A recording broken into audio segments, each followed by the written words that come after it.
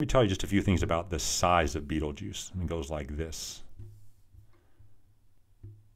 So this again looks like some funny PowerPoint template or something where maybe this thing here is like the margin to make the slides look nice. But no, this here is Betelgeuse. It's so big that we can even barely capture its roundness on this flat surface. And guess what that is right there?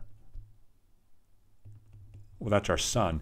Betelgeuse is just enormous. That white, that red thing you see in the sky at the armpit of Orion is absolutely huge. Watch this.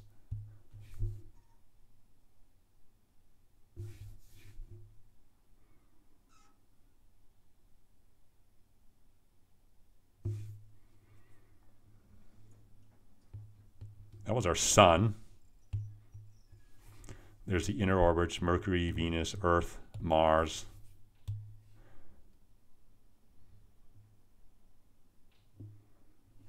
There's Jupiter's orbit. Now here's Betelgeuse coming in. Look at this. Look at how Betelgeuse, that one star, is practically the size of our entire inner solar system.